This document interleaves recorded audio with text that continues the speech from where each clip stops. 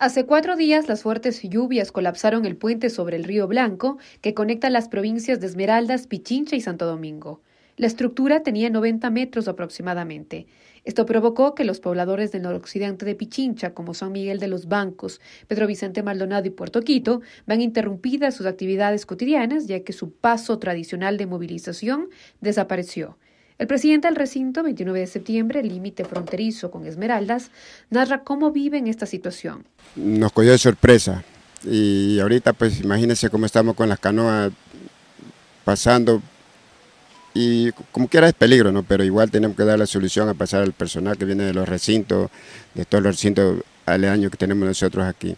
Y igualmente aquí el pueblo, los estudiantes, igual ya viene la, la, las clases y todas las personas, las personas que son de tercera edad, que tienen enfermedad catastrófica, tienen que ver por dónde pasar, entonces nos, nos dificulta bastante. La canoa ha sido la alternativa improvisada de movilización que han activado los pobladores para seguir con sus actividades. El pasaje cuesta 50 centavos por pasajero y cargas más pesadas como trasladar una moto cuesta hasta un dólar. Francisco, un poblador de la zona tomó su canoa y la puso a disposición de los pobladores para cruzarlos de provincia a provincia. Asegura que conoce las aguas del río Blanco desde pequeño, ya que su familia sería una de las fundadoras del recinto fronterizo.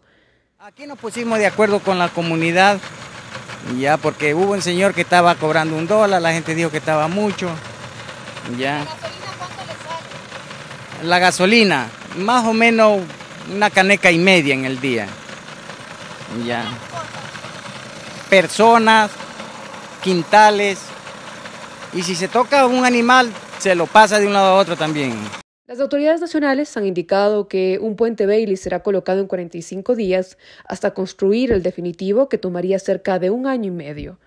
El puente Bailey es una solución alternativa que, se, que se, dijo ¿no? en las reuniones, pero técnicamente este puente, eh, los que se cuenta, o sea, con lo que se cuenta creo que aquí en el país, es eh, puentes de hasta 60 metros, se los pueden ubicar hasta 60 metros, en un ancho de 60 metros, y como vemos este puente tiene aproximadamente 95 metros de ancho, entonces no valdría ubicar este puente aquí porque, o sea, aparte de que no alcanza, si se logra poner un puente con esta, con este ancho, se puede un poco, eh, eh, se puede, ¿cómo se dice?, o algo así, ¿no? Sí, hundir. La emergencia vial ha sido declarada en esta área por el gobierno.